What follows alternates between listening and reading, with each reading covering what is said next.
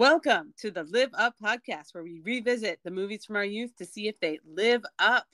We will review, discuss, and score whether the movie in question lives up to us now as adults and whether it lives up to the intended audience today. I'm Jess Latterman.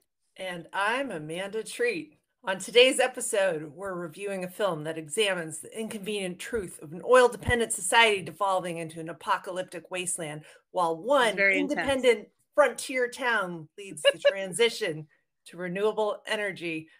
Also, you can hear Jess laughing because they have a Thunderdome. They do. Two men enter, one man leaves. It's 1985's Mad Max Beyond Thunderdome. Jess. That was like by far the most intense introduction I think you've ever given a movie. Because it's the Thunderdome. it's the two men enter, one man leaves. Mad Max. It's yeah, it's got a vibe. So, uh, Jess, vibe is a word. Jess, you reluctantly got dragged into watching this for the first time. You've never seen any of the original Mad Max movies, to my knowledge. Uh, nope. Not this is des- my first. If you had to describe this movie in one word, what would it be? This was not hard for me to think about. The word is sweaty. Oh, yeah. Ooh, yeah, I see that. There's a lot of like heat and leathery outfits and probably a lot of flies. I don't know. There's a lot of sweat. Yeah. I felt like I needed a shower. Yeah. Yeah. So this was my first viewing. It was very sweaty. I have seen the Charlize Theron one, the recent one, but I've never seen the originals with Mel Gibson. I guess like I knew I was in for a wild ride when the opening credits have characters like Iron Bar and Pig Killer, and I'm like, what is this? Amanda. great she, characters, great characters. yeah. So I, I definitely texted you a bunch and I was like, so have you changed your mind about this movie? just wanted out of this so badly. I swear to God, like our text thread was just like, what the hell is this? Movie? Well, I just was like so unsure, but I think that's the beauty of this. We we like to revisit things that are from our youth and everybody loves and we have to see if we should still love them. So so tell me why you picked this, Amanda. Oh my God. So I go way back with Mad Max Beyond Thunderdome, but what happened was recently I was in an elevator with my very millennial coworkers in our very Gen Z interns. But but we love our millennial and, we, and Gen Z listeners, however. We love everybody who listens to this podcast and we're not knocking them. But I was in this elevator with my colleagues and I saw the headline pop up that Tina Turner had passed away. And I said out loud, Oh no, Tina Turner died. And one of my millennial coworkers like, I don't know who that is. And then another I, I one of them believe you. That's another insane. one of them was like, uh, I think she's like a singer? Did she have oh. like a big song or something? And like no idea. And then like because our interns who are you know 20 they were just being very polite because they're very happy to be interns and working with us and like we're just kind of nodding but like had no idea who i was talking about so nobody knew who tina turner was and that just hit me right like in the soul honestly like, oh my god they didn't know how awesome tina turner was and that instantly we're going to do something about it amanda. Uh, we had just recorded our previous podcast and it was my turn to pick a movie and i was kind of waffling honestly. But yeah it just hit me like oh my god we wait did it hit you like a thunderbolt or a like a thunderbolt that we needed to do tina turner's all-time amazing performance in mad max beyond thunderdome because she is epic as her performance in auntie in this and Jess had never seen it, so it was like a no-brainer that we had to oh, review this movie. But before before we get to that, so what is your what is your history with it though, as a kid? So obviously, you and I were way too young to watch this in the theater when it came out because I think this was a 19 it was 1985. So yeah, this is not for us as children, but it's the lightest of the Mad Max movies. Like this is the funny one, everyone. Oh God. it's, I mean, it's just like bonkers, and we'll get into all this in Bonker, a second. Bonkers is also a word. Yes, it's yeah, just just complete craziness going on in this movie. But I I don't know when I saw this for the first time. It obviously was on someone's VHS cassette somewhere in the let's say early 90s i probably saw it i don't know how old i was or when i saw it for the first time but i remember by the time i got to high school that this was a big cult classic reference point especially with like the athletes the mm. two men enter, one man leaves thing was huge at my high school. But then I think it was 1996, Tupac and Dr. Dre made that music video for California Love. And it, the whole thing was Thunderdome all over again. Like they're racing across the desert and they're rapping in the Thunderdome. And it just verified that this was a cultural stamp on our generation. Like you got to see Mad Max Beyond Thunderdome. So I have a lot of enthusiasm for it. Doesn't make it a good movie. I don't know. We'll see. It sounds like you remember it through the the veil of it was a cult classic yes, kind of thing yeah. versus I remember sitting down and watching it all the time. By the time everyone in high school was shouting about it, I'd probably only seen it once or twice. And okay. So you, it was already kind of classicy by the time. Yeah, and like rewatching it now, I was just like, "Oh my god, I totally forgot about this part." There's movies we've reviewed like Who Framed Roger Rabbit where I could tell you every line and every scene and like I had right, it yeah. the you know, kids watch things over and over. This was not one of those movies. I'm still very excited about it, though. You can tell in my voice, like, woo! Yeah. Mad Max Beyond Thunderdome. I, I feel know. like we need to remind listeners here that you and I try not to give each other's opinion away too much before yeah. we record, although I think we have a sense. I wasn't like super Debbie Downer about your choice on Thunderdome but I was uh, a little skeptical after yeah. I watched the trailer. Fair enough. All right, we'll start with the positive preliminary thoughts on Tina Turner in this movie. I really like that we're starting on this positive note because this movie is nothing without Auntie. She plays the character Auntie. She's kind of a queen uh, like a literal queen of Bartertown, and she's amazing. I kind of wish she had a musical act inside the Thunderdome. That would have been awesome. But she was definitely epic, definitely iconic. I loved her in this. I know you and I texted about this. She has a great line for her backstory where she she's telling Mad Max that I was a nobody, then I survived. Now I'm somebody. But enough of history. And then like chaos ensues. There's an energy to her that just blows through the screen. It's she's fantastic. Oh, I love that line. She's like so such a good line and slick about it, but at the same time, like very blasé. Like I was a nobody. I yeah, it's like she's both now like sexy and dangerous. Yeah. She holds your attention so much. Every time she's on screen, it's a better scene, I think there's a whole section in the middle where she's not in it and that's the low point of this movie. You and i were talking before this episode. Normally we like to do deep dives on characters and let that drive us through the movie but this movie all the mad max movies like people don't really talk. You can't really get a deep sense of any of these characters because other than their like leather thongs and stuff, you don't know what leather thongs. I can't wait it to looks... talk about the leather thongs. the costumes in all of these movies, the costumes make no sense for the Australian outback. It's like 120 degrees. Is Tina Turner wearing a chainmail dress that weighs 120 pounds allegedly? And is just like jumping into the Thunderdome and driving a car across the outback, like chasing, blah, blah, blah, like that dress weighs 120 pounds. Oh my god, what were they thinking? I mean, this is just one thing about the movie that doesn't make sense to me. Got to be honest. The costumes were crazy. All but, the um, men are dressed like multiple members of the Village People, all combined into one. It's like a Village People reunion in every single costume. It's crazy. It's very odd. It's there's a lot of leather. There's a lot of bare butts, a lot of mohawks and a lot of sweat. It yes. definitely reads in the 1980s, I guess. This is what did this did they think this is what a gay leather bar looked like cuz I I feel like that's the vibe I was getting. I feel like it's its own aesthetic. A outback like, steampunk. Yeah, I said that to Elena. I was like, I feel like this is like steampunk but with leather. She was like, my brain doesn't even understand what you're talking about. So this isn't like a in case you fall off your motorcycle and need to slide kind of vibe. This is just we're looking cool, but you're not cool because it's 120 degrees and this is why they're the sweaty. Australian outback. Like, this is why my one word was sweaty. Can you so, imagine like the skin fungus that's going on under no, some of these I outfits? Can't, like, ugh. I can't even ma- imagine how bad even just filming this smelled. But just if you could imagine the the world they're creating, the smell must be just unreal. I, I wish we had a guest dermatologist to weigh in on this movie, just in terms of like Tell us about the, amount... the and the sweating. Oh like, my god. Well, there probably so, was like hydrocortisone all over this set, like you know, cut, and then all the so extras gross. have to be rubbed down in hydrocortisone. Oh my god, that's so gross. Oh, that just added a whole other layer.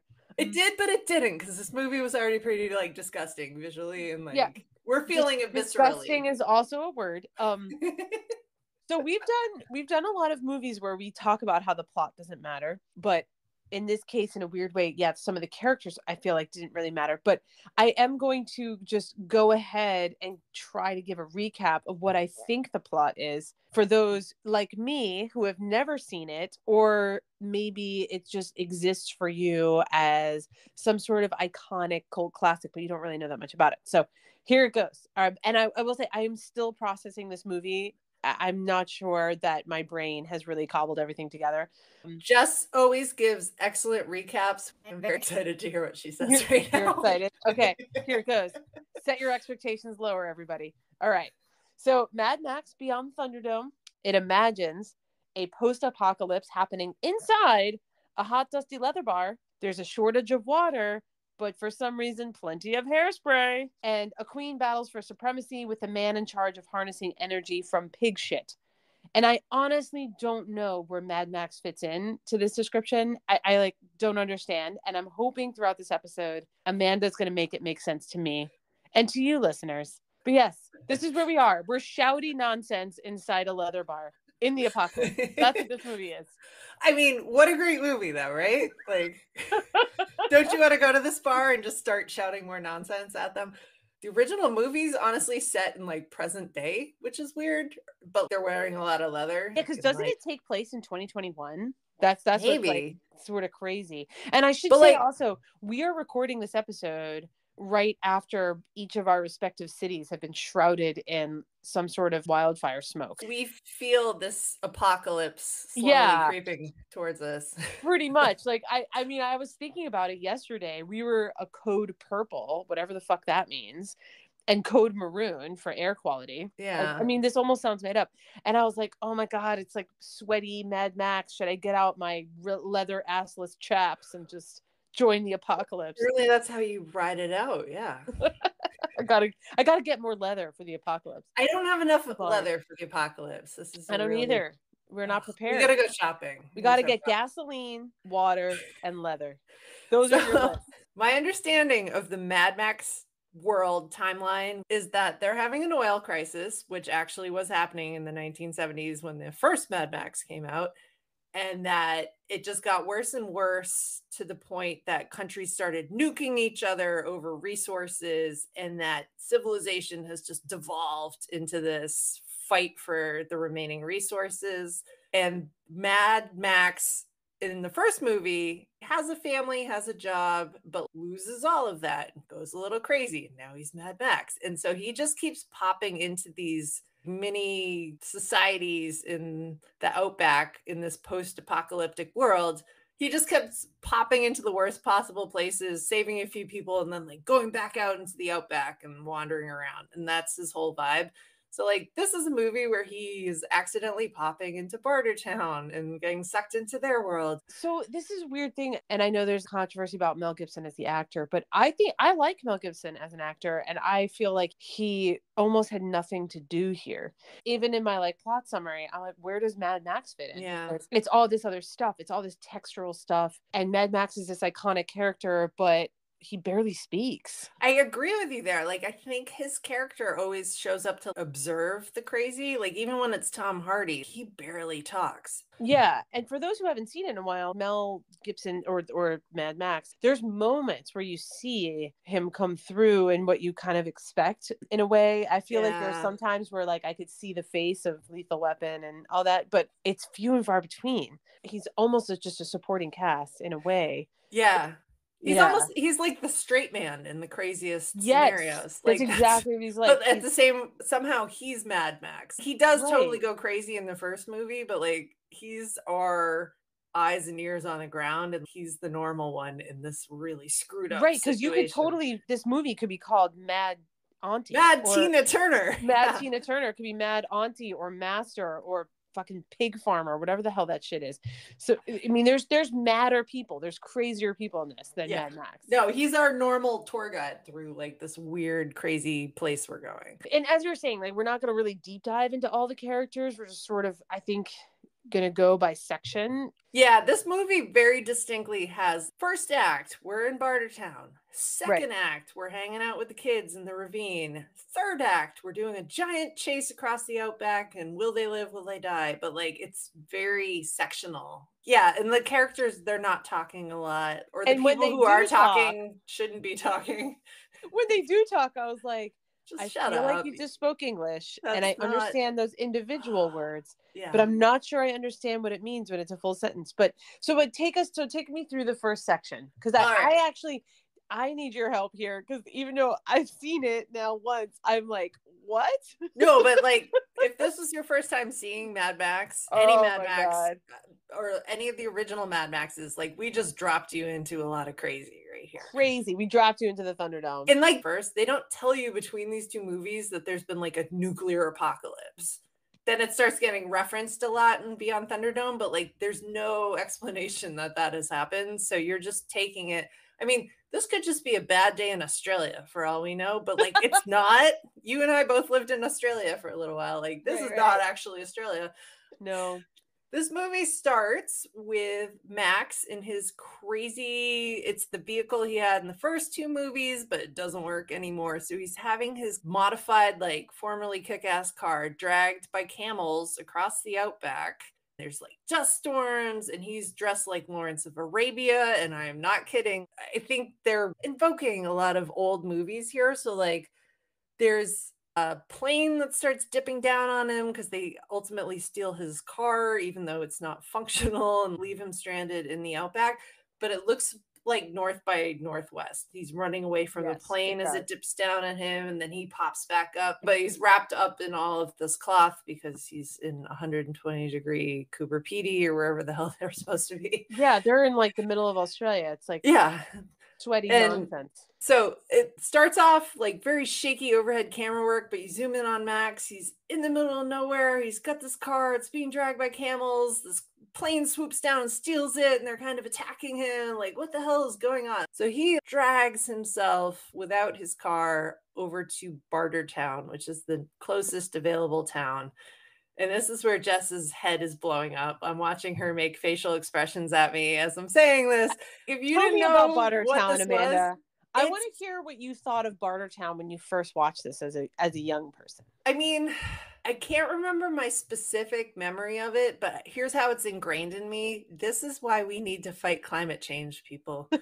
Because you do not want to go to Bartertown, people. I think this is, this is how it ends for all of us if we don't fix climate change. like that oh there's this God. small That's town so that's run like the wild wild west in the middle of the australian outback and it's still 120 degrees and people are still running around their leather thongs and they're shooting each other in the street and like it's just chaos and the whole thing's being run off of an anaerobic digester because they have a lot of pigs. So you know what? Small kudos to them for figuring out renewable energy on that scale in the middle of nowhere, but they're still just like letting chaos reign this whole place. There's this opening shot of people filing in to go to work there. And I don't know if anyone else has seen this movie, but that there's that 1960 version of the movie The Time Machine, not the new one with Guy Pearce that we saw. That's not even new anymore. That's like 25 years old. But there's this version we had to see in school because it's based on the book. And like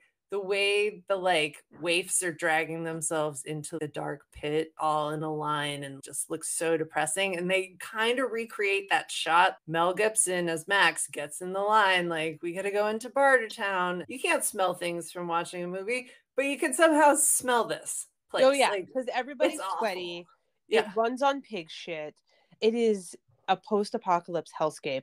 I mean, this is what we're headed to, people. It sometimes reminded me of how they've depicted uh, settlements in The Walking Dead in a way, when it's like run by a bunch of outlaws. It's crazy, yeah, total chaos. People are in leather for some reason. I mean, it's a hellscape. It's not the suburban hellscape we talked about in Edward Scissorhands. It is like way fucking worse. No, this is a literally you're about to get beaten to death hellscape. Like, oh it's yeah, it's it's gross. gross. I kept thinking in my head like the whole Dunkin' Donuts tagline of America runs on Dunkin', and I'm like, oh, this is the far. Bartertown far runs fall. on pigs. The apocalypse runs on pig shit. Everybody. See, here's where I want to actually give this a positive spin because I used to work for the Massachusetts Clean Energy Center and I worked for their anaerobic digester program. We were giving out grant money for people to put in another generators. Shit, I guess. I don't know. But this movie is actually describing renewable energy. They have propped up a town based on the fact that they can turn feces into methane and run a generator off it and run the whole damn town. And in my head, I was like, nobody's calling that an anaerobic digester, but that's what they're doing here. And like, kudos, they have some kudos to solid Auntie. engineering despite all their leather. Despite like, all their leather, Auntie was able to yeah figure it out with that master guy. I don't know. yeah, know. don't let the leather deceive you. These guys have engineering degrees and they have built an anaerobic digester and it runs the whole town. Like, wow, good for them. Oh, God, so it doesn't weird. smell good. None of this smells good. So, so Auntie, uh, aka Tina Turner, she runs this place, and for some reason, Mad Max is like in the mix. Of, he he shows up and he's like he's desperate because he's lost his car, he's lost his camels. He shows up in Bartertown where you have to barter something or else or they don't they'll send you away to die. So he basically barters himself like I can fight Max kicks some ass and they are impressed and they say, All right, bring him up to Auntie. First of all, her entrance, there's just sexy saxophone playing and shadows. But it's like weird 80s sexy saxophone. Oh, like, it's mean, total 80s it's sexy. so cheesy in a way. It was weird. The saxophone to me was weird. Like the whole score was part sexy saxophone, but like shitty 80s sexy saxophone. So it's like part shitty jazz club, part Roman battle cry, and then part Looney Tunes just fucks with your senses the music. The actual soundtrack for this is done by maurice jarre. He is this oscar winning composer. He did lawrence of arabia and dr zhivago. At the same time he's doing this he's doing movies like dead poet society. He does these like very serious epics and that is not what this movie is at all. This movie is meant to be chaos. I just felt even watching that final chase scene i was thinking about the newest Mad Max movie, and it was like, yeah, the music was keeping me going. Like it's this heart pounding soundtrack where right, you're just kind like, of heavy ah! metal in the new one. And I oh totally yeah, I mean they have a guitar player with like flames coming out the guitar in the new one. That's the level of soundtrack right. we're going for in these car chases, and this like this soundtrack is too it's subdued. It's, it's subdued, but you had like elements of like Looney Tunes or something. It almost had a cartoonish element. Yeah, it just and, and you know we don't get super nerdy with the music on this podcast but this the music outside of tina turner the actual score to me was distracting because yeah. it was so weird. Yeah. yeah. So he shows up he gets sent to see auntie tina turner. She emerges in her amazing 120 pound chain link not chain link. She's a chain, chain link fence it's not a chain link fence, although that would have been very revealing. This is also a very revealing dress.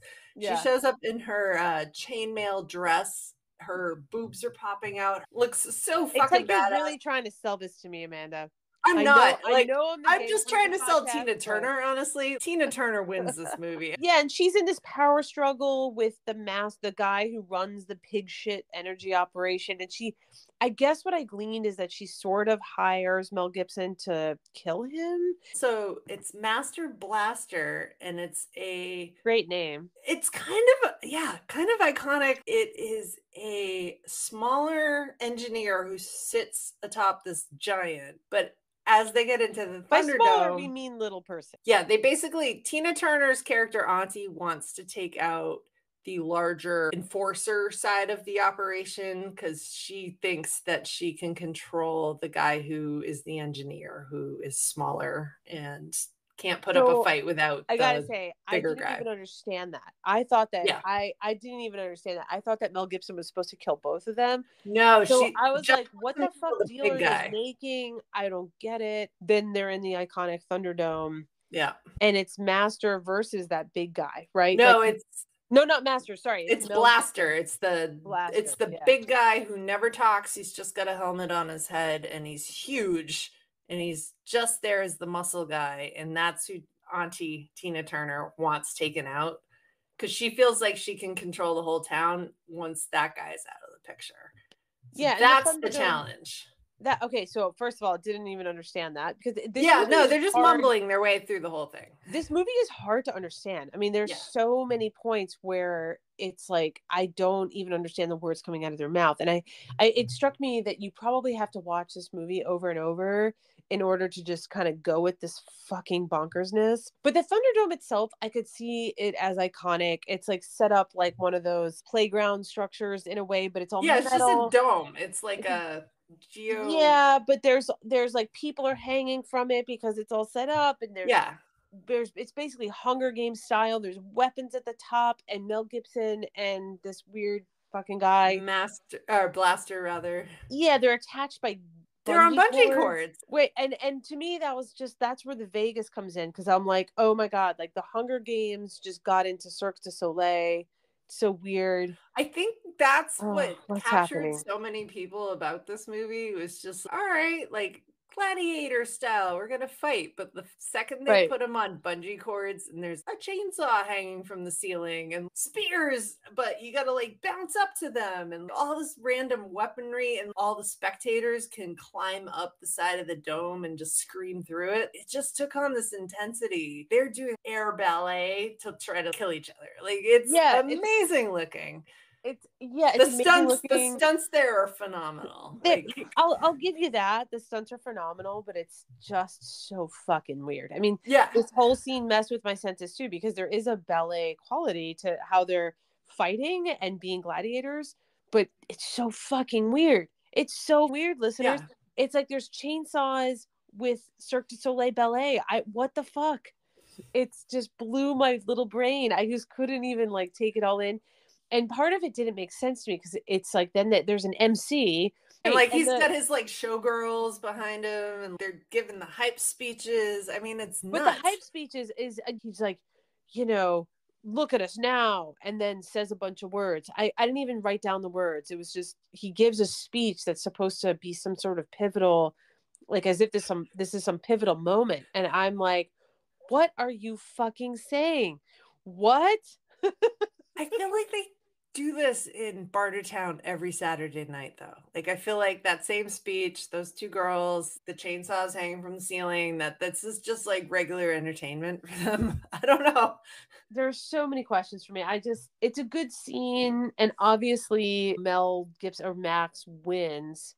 Sort, but he wins, but sort of like, wins. Sort of yeah. wins. Yeah. yeah. And I didn't even understand that whole. I explained it to me, Amanda. I just don't fucking get it. All right. Well, and like here's the thing too. Like I think you feeling disoriented by all of this is the point. I think part of this Give film this series a lot of credit. no, no, no, but like I think Max keeps landing in these societies that have set themselves up in a certain way and made up all sorts of weird shit. He's just trying to roll with it, but at the same time, it's just like, what the hell, bungee cords, and there's a chainsaw up there, and if I bounce really high, I can get the chainsaw. It's just yeah. like chaos, absolute chaos. chaos, and he's just trying to roll with it because uh, I just want my damn car back the stakes yeah. are really high for very low reward for him. Um, I'm watching Jess's face here because she's just like, "What the f is with this movie?" And like, I, I, I, agree with you. I totally agree with you. Like, this is not supposed to make sense, but you're supposed to just feel like I've been thrown into chaos. I gotta get out of the chaos. Like, here we go. And so they're. I mean, fighting... I definitely felt that. And, yeah. And then you know, throughout the fight scene, the helmet gets removed. Yeah. So and, it's and... revealed that Blaster Max figures out earlier he's actually very sensitive to high pitched noises, that Max has a whistle with him when he goes into the Thunderdome, and he knows the weakness of his opponent. So if he can just blow the whistle, the guy freaks out, knocks his helmet off, and realizes, oh, wait, this is somebody who's like intellectually disabled, and this is not morally right to be killing somebody. So he turns to Auntie and is like, nope, no deal. I'm not killing this guy. At which point, Tina Turner leaps into the Thunderdome. She looks so cool. Like it's not she she's the bad cool. guy in this movie, and I gotta call that out over and over again. no, no, she does her. look cool. And this is the moment where I was like, oh, I just wish she would just start singing. This is where I wanted the concert. I wish she would kick everyone's ass. She's not supposed to be the fighter, but if she just put a high heel through Max's chest or something, end a movie, but we'd all be happy. I think I might have been happy. I'll just overall say that I understand why it's iconic. It is interesting looking but there is just so much word salad and i feel like seeing it for the first time as an adult i was like what the fuck is happening? It's not just the chaos. I still didn't get like am i supposed to be rooting for mad max? He's fighting for his car but that feels just so low stakes. Yeah. that, that piece just just didn't come together for me. And and then when you know Tina Turner's getting mad at him and she's amazing and she's like flies into the Thunderdome, which is cool, totally cool. It looks it looks cool. It does cool. look cool. I totally get it. It was honestly hard for me to root for Mad Max in a way because I'm like, I just don't know if I care. The stakes generally for the apocalypse feel high. I still was just like, oh my God, explain to me why he's Mad Max at this point. Cause like, yeah, but he doesn't seem yeah. that mad at this point. He's a little tame, Max. Yeah, a little bit. And I don't mean to get like over intellectual about it, but I just no, hard, do it, I, do it. But I had a hard time connecting with him because I yeah just didn't I was like, I don't fucking get it. No, that's totally what the character like after that first movie, and like honest to God, the first movie is really hard to watch. I don't recommend anyone go back to it, even yeah, though it's rated like ninety-seven percent or some bullshit on Rotten Tomatoes. Oh like, oh my God, the second movie is also really hard to watch, and I had yeah. a hard time getting. No, it's yeah. like he's an okay at best guy, but like he hits the point where he goes crazy because his wife and oh god, they just keep killing all of his dogs in all of these movies. It's like John Wick, but times three. Like it's the worst. And he like loses his mind. He wants to be alone in the outback. He keeps wandering into situations where he's like, ah, god damn it. All right, I'll save these stupid idiots. But he at this but, like that's gets... a hard, hard person to latch onto. yeah. I totally get gets... it he gets himself exiled essentially. Yeah, so he breaks the deal with Auntie. He refuses to kill Blaster, the big guy. So Tina Turner's assassins take him out. She jumps in the ring and she's like, "We're gonna do the wheel." Because now Max oh, is oh the wheel. I yeah, now the, the Max. I mean, like, so kind of a better game of Wheel of Fortune than actual Wheel of Fortune. You gotta wait there. They spin the wheel. Like, what's his punishment gonna be? And it's the Gulag, which uh this is not the actual definition of a gulag. I was like so, the gulag, and then he's off on a horse. we're desert. like, oh, they're sending him to Russia. No, right. That's not. what I was thinking. Bind him. They sit him backwards on a horse, and they put this weird mask on his head, and then just pat the horse, and off it goes into the desert. Uh, and yeah. then the horse dies of thirst, which sort of the sucks, horse dies but... of thirst, and then immediately sinks into. I'm just gonna keep calling it the Sarlacc pit. I know we're in yeah. the wrong movie trilogy here, but like that's okay. It's same era though, so yeah, Sarlacc eats the horse, and Max escapes because he is a faithful pet monkey somebody sent after him. Although he which is also like, from another trilogy Yeah, like he falls on the monkey repeatedly, and my husband kept going like, "He crushed the monkey to death." It was like. it's very concerned. We were waiting, and it was like, "Oh no, there's the monkey again." All right, the monkey's still in the. Monkey's okay. Monkey's okay. All right, Unlike in Indiana Jones, where it gets yeah. poisoned. This is where the movie takes a really slow, not exciting turn. So Max, he's sent out into the desert. His horse sinks into a sarlacc pit, and he gets rescued by these creepy ass children. Creepy. Like very blonde. They're very tan. They can barely speak English. Like barely and... speak. I mean, that's the crux of it here. Oh God. What are like... they saying, Amanda? I was thinking about this. In the apocalypse, do we just like lose our ability for language? Like, what's happening? I mean, is this the equivalent of texting, but like apocalypse? Like they're all speaking in like T L D R. Like LOL. Standing there, like, like, what, what are they fucking are saying? saying? The movie just slows to a crawl at this point because he's dealing with these chaotic children. I do not like this whole tangent. It was I found it really hard to understand. And yeah. not just where the place was in the plot. There's nothing charming about it. And it could no. be charming because it's kids. Some of the kids that. are genuinely cute, like the same way some of the or the Lost Boys from Hook are cute, yeah. they're saying nonsense. Nonsense. Like the and this is where the grammar's all messed up, but then it makes it really hard to follow. I was noting that in Star Wars, when C3PO is in the third movie, the Ewoks talking worship... to the Ewoks. That's exactly what this right. is. They're oh like, but the Ewoks worship C3PO, and the Ewoks don't speak English. They're literally just grunting and have gestures. God, but I feel like they're comparison. Okay, but their their grunts and gestures, I could understand it, and I understand what's going on. I, I understand the Ewoks oh, more. Man than whatever the fuck these kids are saying. I, I, guess the purpose is that it's been far enough away from civilization that they don't really have like a basic understanding of things. But like, but it, it's this... literally hard to understand them, and I don't understand. They think that Mel Gibson's character Mad Max is some sort of a long lost leader. That's why it reminded me of C3PO, but it it was so convoluted that I didn't follow it. I didn't find them charming at some point there's some sort of inter kid battle and i just didn't get it yeah. It was just so weird. No, this whole section sinks the movie. They're trying to build up this narrative of we have this tribe of children, but they're the descendants of this plane crash. But at the same time, it's like, where the F are the adults? Like, there are literal babies running around them there's 18 year olds and there's three year olds. They're just like, oh, yeah, no, all of the adults left. There's no explanation where the hell the adults went. They all left. Like, right, they just left their kids. but I think that you're supposed to glean kind of that that's sort of the plot that they yeah. they were sort of abandoned and that this is the ties into the whole apocalypse thing and that they develop some sort of culture around the origin story of of the plane crash and i think that in another movie or in another setting it could be interesting i just wanted to note here that i did not watch this movie with my children That's i have to say good probably a probably good, good. Good so move. for the parents out there i just don't think it's going to work but it wasn't because i thought it wasn't going to work I was actually so naive that I actually was planning on watching it with them. It just didn't work out with our family plans. But but I think that my kids like to connect with those other kids and they they understand things like the Skeksis in Dark Crystal. They're to- they totally get it, even though they're only saying things like yeah. They they totally get the Ewoks. So my kids, or just kids in general, I think could be okay with nonsense language in a way that bothers us as adults. I feel like but there's no kids, way, yeah, no way that they would have related to this because it just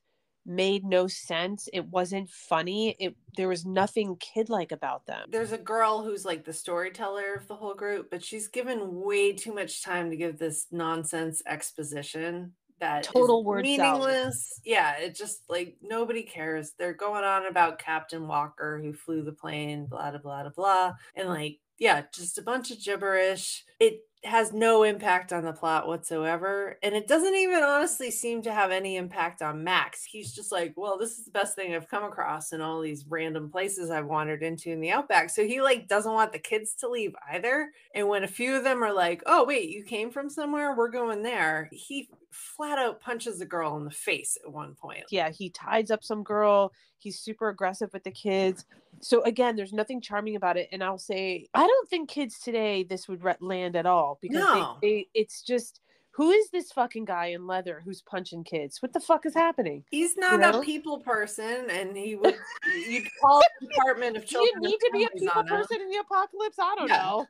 and like these kids are super annoying and not very relatable either. And here's the thing: originally, this was the movie. It was supposed to be an apocalypse version of The Lost Boys or an apocalypse version of an adult coming across a Lord of the Flies situation. Oh, god! And they turned it into a Mad Max movie, but originally this was the movie. There's no way this movie would have been a cult classic if no. they did what you described. I mean, you need it that sucks. other stuff in there.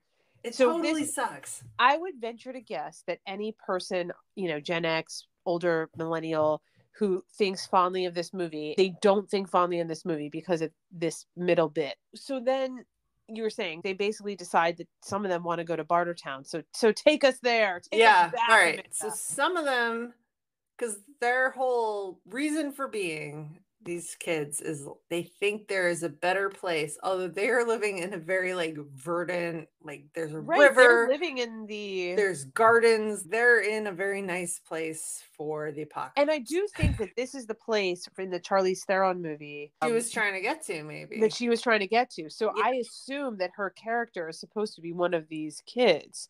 Yeah. And meanwhile, these kids are like, no, like if we could just get back to Sydney in 1990 or whatever, or 2021 when it's like, yeah, like fucking radiated. We want to yeah. go back to that civilization. And Mel Gibson's Mad Max keeps saying, like, that's not a thing anymore. Like, literally. atomic bombs have dropped and it all blew up. That's not a thing. But all right, so half of them decide since he came from Bartertown, they're gonna go there, which is the dumbest idea ever. Dumbest idea ever. Stay, he stay in your very violent in his don't go chasing of waterfalls. Yeah, he's very violent in his enforcing of don't go chasing waterfalls. He punches the girl in the face. He like ties up kids and gags them while he falls asleep, they all manage to escape anyway, and they're off. They're just bolting across the outback in peak heat. Um, these days during apocalypse. So Max wakes up and is like, oh, they left. so he's gonna do the right thing and try to go wrangle them. He brings some tiny kids with him with their tiny spears. It's supposed to be cute and shit, but like it's not these kids are useless like useless and what's weird about it is that i was sort of like why is he trying to go after the girl that he punched in the face? Like yeah. it, so there's a there there's real disjointed plot here and it, again me having not seen it so i don't no, have this it, nostalgic attachment i'm, I'm like, with you. It's like why wouldn't you just let her go? Like let you know her go. You idiots. Go die. Go die on your go way to bartertown they're gonna just stick you in the Thunderdome anyway. It's gonna be a hot mess. Like, mm. yeah, you're gonna shovel some pig shit. I don't but, know. oh, Max, in his heart, he has to do the right thing. So he takes some oh, tiny oh, little helpers along. tiny little helpers. Oh, they're God. trekking across the outback. They find the kids halfway sucked into the Sarlacc pit. He pulls them out, and then they're all like just sleeping in the middle of the desert and they see the lights of Bartertown. So, okay, we're going there. We have no plan. We have no purpose. Like, what the F are we doing? But that, I mean, that's sort of a problem for me because I, I was sort of like, what is the plan? They basically ambush or they attack Bartertown. They don't. They just they sneak in through the pipes. All right, they do right, is like, they, yeah. But there's this intention sneak. of destroying it, and this is what I didn't understand because it's this is where the plot was so disjointed where okay they're going to bartertown because they want to live there but now that they're there they they almost seem that they're invading it and wanting to destroy it. So i was sort of confused as to what is the point? Like what are literally what the fuck is the plan? Yeah they see master who's the, the anaerobic digester uh, engineer yeah. at this point for some reason decided to rescue him even though we were literally fighting him the last time we saw him. That was another question i had because i just didn't understand why they were on the master side. Yeah. But i guess they, they're on the master side against the auntie character who runs bartertown and right. so there's this whole thing where the kids basically with with Mad Max want to destroy the town, and I, I and like none of this is being communicated out loud, and like I literally I, having seen this before, and I just literally wrote, "What the fuck is going on?" I found slight amusement in this because as a parent, if you've ever brought your own children plus other people's kids to a playground or something, the kids immediately disperse and go crazy and they run everywhere and you can't keep track of any of them. Do you end I, up with a train and you're being chased by Tina Turner and like a... right? But I guess I found that kind of funny is that Mad Max all of a sudden is in the position of he's the dad with all these other kids that aren't like, his own and being like, damn it, where's everybody? Like who's do you have a buddy? Does there Ah, what are you doing with the pigs? Get What's out! Going on? Ah this whole scene, there's no plan, there's no goal. They just end up like just swinging around. They kick a few people into Fucking the pig shit. Like there's yeah. one guy who pops out of it and spitting pig shit out of his mouth. I felt that viscerally. He didn't go to work today signed up for that. Like, oh, it's so good. That guy. In a previous pop down to the underworld, Mad Max had befriended Pig Killer. He just said, I killed a pig because I was trying to feed my family. So Pig Killer's like, yeah, let's blow this place out. And Passive like, aggressive what? employee there. So, like, he's helping them out. He knows how to steal a train that'll lead out of there. And then suddenly we come bursting out of the underworld on this kind of truck train thing, but it's on a track. They're all hopping onto this thing. It's coming out of this cave like situation where all the pigs are and somehow blowing up everything behind it. So like yeah, they're like, kind of like utter yeah. chaos. There's explosions. There's there's a car chase. This is where the, the big car chase comes this, in. There's, there's it's not even. It's a train, car, plane chase that happens Crazy. after they come busting out of Bartertown. Like it just goes so mayhem. It's awesome. Yeah, it doesn't make sense, but it's awesome. I guess it's visually awesome, and I guess this is part of the plot that I could actually follow. Tina Turner there has gathered up all the people in their crazy homemade vehicles where things are just welded onto other things and everything looks crazy. There's a cow car. I don't know why. One of the cars looks like a cow, but it's a car. Big ass chase scene comes bursting out of this whole Mel Gibson with a bunch of kids in a tunnel full of pigs thing. And this is again where the plot just like didn't fucking matter because then then Tina Turner, aunt auntie, she's getting in these cars and it's like, well, why the fuck are they chasing them? Because they're leaving, right? So it's like this weird vengeance thing too. It's basically car chase for the sake of a car chase, and it's hard to understand the stakes well, of like, no, why they give it. She's trying to recapture Master the guy who's oh, like the engineer. I didn't even get that. They oh, grabbed God. him, put him on the train, and they're blowing out of this joint. And she needs him because he knows how to run the Oh my God! You just like fix the movie for me anyway. Because I was like, what the yeah. fuck is happening? Yeah, no. All she wants is to get that guy back. She doesn't yeah. particularly care about Max at this point. She definitely doesn't care about these stupid kids. Like she just wants the guy who knows how to she, keep she the power on. The pig shit guy. So it, yeah. in all this chaos and like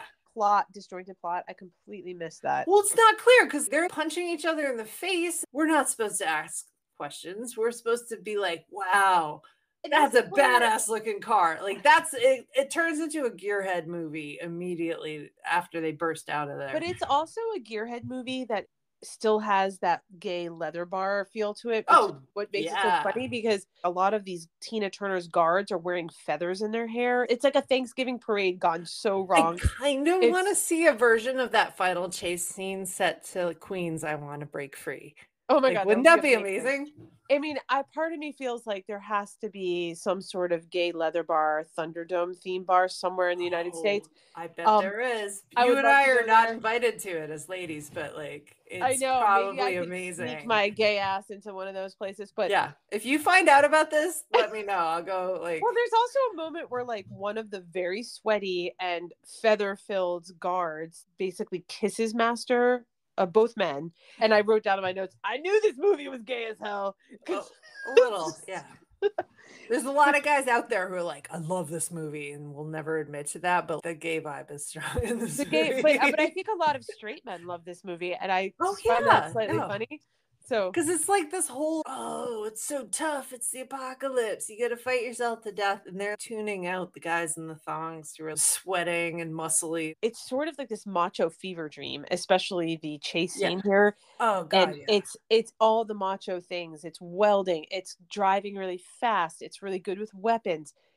Where does it cross over from macho fever dream to gay? so I hope I don't get hate mail for this. I'm sorry. No, it's spot on. Like in the apocalypse, all men become closeted gay men. And that's sort of what that was my takeaway.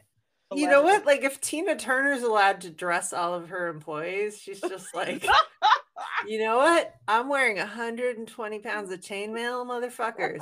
You are gonna wear some leather thongs and go and down see your butt cheeks into the underworld. See. It's 120 degrees above ground. I'm gonna stick you in the pit. Work it. Yeah, work it. So I generally like. I liked the car chase scene. I thought it was good. Yeah. I feel like I've seen better. Even the one we saw in Raiders of the Lost Ark, I thought was better actually because it made just like more narrative sense. There's just not enough plot there to keep me. Whereas I feel like in the new one with Charlize Theron, there was enough plot there that I accepted the ridiculousness of the car chase. I see that it was cool. Mm-hmm. I see that it was iconic, but I'm like, I don't know who I'm rooting for. I'm kind of rooting for Tina Turner. so yeah, I no, I mean she's amazing bad guy. And like we get to the end of all this, and there's a reprisal of the guy with the airplane and his kid show up at the end. Who, by the way, that guy with the airplane was in the second movie.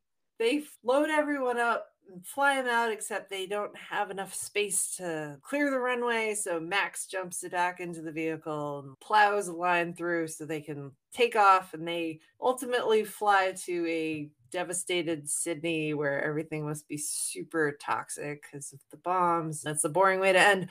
But the awesome ending for Tina Turner is Max plows his car through their whole line. There's cars flipping over, and he ends up jumping out of the car, so he survives the big ass crash. But Tina's standing over him with her goons at the end, and she makes a smarmy comment and like grins and winks at him and walks off and leaves him. And like, but I don't understand why did she leave him? Because she doesn't care about him at all. It did was just like, hey.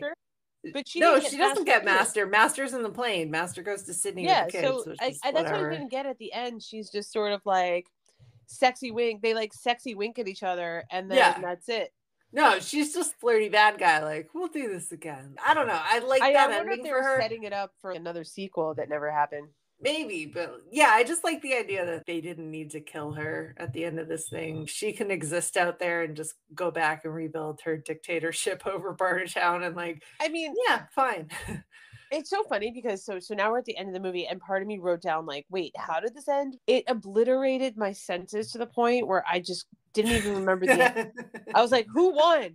Who won? Did tina turner win? Did mel gibson win? I don't get it. Well who won? Yeah. i really again think this is where if someone has nostalgia for this movie yeah they just maybe i should ask you the question no that's all right so the ending is he yeah yeah you don't know no he sacrifices himself to get everybody out of yeah. the situation. They go off to Sydney and they're living their boring lives out there. But like when he's confronting Tina, terrible kids. Yeah, no, he's just like, you stupid kids, get out of this movie. He and Tina have that moment. She, as this epic bad guy, is just you know what you're a good nemesis and that was a cool move and you're not the one i'm here to like kill so good day sir kudos that was nicely done and just walks off and leaves them stranded in the desert i like that as an ending where she's just like wink nod hey good game sir like you know handshake yeah. i will fight you in the future again yeah that seems right for her. I feel like there's somewhere in there there's probably a good movie. Or just even even her rise to power yeah, like that whole no. thing in the beginning i was a nobody i survived and now i'm a somebody like yeah. that there's a good movie in there somewhere and i would and, love a prequel wasn't like it. auntie. Yeah like an auntie, auntie prequel i would see auntie i don't even care who they cast i mean i don't know if you could possibly replace her but you, that i could that i could get behind I don't know, my 42 year old brain was like in fucking pieces by the end of this movie. And I was just, I couldn't put it back together. I couldn't. And I spent days trying to, I, you know, I watched it about a week ago and I've been trying to like just piece it together in my mind. A mutual friend of ours from college I saw and their husband was so excited that we were going to do this movie and nice, he wanted to watch nice. it. And he was like, oh this is great he's like this is so good it's so such an iconic movie all of them are yeah. so great so i was like kind of like okay i'm into it like my brain still even talking to you it's like leaking out of my ear. I'm on my second beer. I don't i, I don't maybe i just like i am simultaneously like i'm i'm a little bit sorry but mostly psyched that this broke your brain. It like, broke I'm, my brain. It's i'm sorry but really happy about totally that. broken. I'm still broken by it. We were saying at the beginning of this podcast that you know we're recording this right after we had this plume of smoke over yeah. Your city of Boston and our city of DC, and it just puts you in the apocalypse mood. There is still a resonance to. I don't think it's going to take. We just went through a pandemic. It does not no. take much for society to break down to fucking nothing. No, and, and like and think... and then it to me it's not just where society breaks down it's like where do you go from society to assless leather chaps? Because that's where for some reason that's the one piece we're all missing. No there's definitely there were moments during the pandemic did Jeremy, your husband, put on his assless chaps and he's like, I'm ready for the Thunderdome? No, he was ready to fight the guys in the assless chaps. like we were we were doomsday prepping. It used to be zombie prepping, but now it's assless chaps prepping. Yeah, I no. think that like my headline is is that I need more leather for the next pandemic, obviously. That's the lesson we're learning here. Oh god. So this was the movie and it broke my brain, but you have some fun trivia for us. Um, so this is all a George Miller production. He did all of the Mad Max movies, including the most recent one that we keep referencing with Charlize Theron. But he also did all of the Babe and the Happy Feet movies. So, like, he goes from this apocalyptic murder, rapey, to like a talking pig who gets along with sheep. It's so pleasant and adorable. That's the weirdest career track I've heard of of any director. So, like, good for him. Other cool things about this movie, you know that I love my special effects. All of the sandstorms in this are real. That that was crazy to me. yeah, all they're all real. So you and I both lived in Australia, but I did I was further out there than you were. Have you ever been in an Australian sandstorm? No. It's I mean, I've been excruciating. To, I've been to like the middle part of Australia, but not uh, yeah. not in this area. Yeah. I had a day of work where we were outside during a sandstorm and it I just remember like I had a bandana over my mouth and nose because you could not breathe and it was just getting like rocks in your eyes the whole time. I just appreciate the attention to detail that they're doing with practical effects like again this is 1985, they don't have computer generated anything. They're just really blowing up all that stuff. They're really rigging up all those cars. They had that final chase scene. They had to make Tina Turner a special car because she couldn't do stick shift. I don't know. I I nerd out on stuff like that, but it looked cool because it was real. Like they really did those chases. That must have been so much fun. Genuinely, what I appreciate about old, like older movies from the 80s and 90s is that there's so much that could be accomplished by CGI, but it but when you do the CGI stuff in modern movies, it takes the danger away. It takes the stakes away. Yeah. I don't need it to look perfect. It looks more dangerous because it, it is really is not yeah. CGI and not just because you know there's people filming it, but it just has an element of real that you can't capture in CGI. I, so I think that that is cool. I thought it was well done. There's real dust that's coming up from the tires. It definitely adds to an element of that is good. And this is the yeah. only positive thing I'm going to say about this movie for the most part. um that and Tina Turner. So that that I did appreciate. Yeah. In, in a way. So I have to give the production credit. I was pulled into this world. In some ways, I feel like I'm still in the world. I'm still thinking about it. Oh, like we need to get you out of there. Head it's it's definitely get on like, the plane, Jess. Go to Sydney. I know. I was definitely thinking about it for a while. It, it definitely pulled me in, and I I have to give it credit for that kind of world building. Yeah. Yeah. If you said, "Oh, I saw this Mad Max style car," like you'd know exactly what they meant. It's its own look. It's its own world. It's super cool. It's such a gearhead thing, and Jess and yeah. I are not particularly gearheads, but like the way they're no, I am not a gearhead. And, like... and, and I'll say that the other good thing I found about it, I don't really care about effects for the most part, the way that you like your face melting and all that shit. Oh, but love it. Yeah. I feel like I need more story. And there was one moment that I thought was really good where the chase scene is happening and the master pig shit master guy is with a bunch of kids and he finds a vinyl he finds record, a vinyl record yeah. player and they they're just playing like what sounds like a hooked on phonics french lesson. It's a good moment because you just sort of realize what was lost in the apocalypse. So yeah. clearly him as an adult is like understanding what this is and the and the kids in the car have like no fucking idea what they're listening to. And there there is a moment of sadness and oh we have to fight for something like civilization. It this moment i thought it was a good part of the movie but it lasted like 30 seconds yeah. So... no, because it's going on in the middle of this huge chase scene. But it was but, definitely yeah, it's a poignant moment. It was a coherent moment, and I feel like I wanted the whole movie to feel more like that. We're focusing on the good. That's like... all I got for the good. That's it. Oh dear. All That's right, it. all right. Obviously, Tina Turner is. I just love the fact that some movie director came to her and was like, "Hey, making this post-apocalyptic movie, and you would be the bad guy, and you're going to be wearing this extremely heavy chainmail dress and have this completely crazy wig full of hairspray and you're going to be overlord of this gritty horrible town. Are you in? And tina turner's like hell yes and i want to sing the opening song and i want to sing the end credits. She leaned in so hard on the crazy and i love it. Like i love this about her. So yeah. Tina turner absolutely peace, showed up. Tina turner. Rest in peace. Um for me, the good, the fight sequences, like everything going on oh. in Thunderdome is just like bonkers, bananas, but that's such cool choreography. You're very in the Thunderdome. So, like, that totally works for me.